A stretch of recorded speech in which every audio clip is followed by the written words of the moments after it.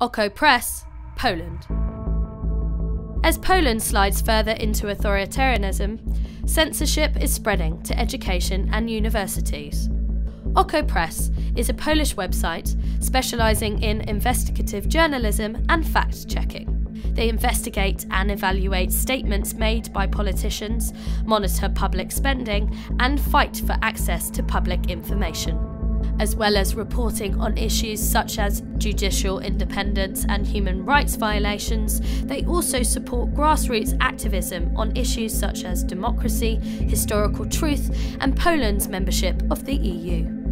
OKO are working in Poland where the situation for the media is getting more and more restrictive all the time and it's getting more difficult to find good, objective, fact-check information. So they're providing that at a time when it's really needed. One of their great achievements is to monitor, analyse, and explain threats to rule of law.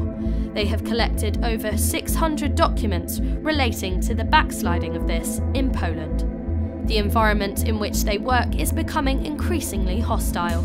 Political polarisation, lack of transparency, suspicion, threats, and withholding of information are common. In the face of this, Oko Press shows resilience and determination.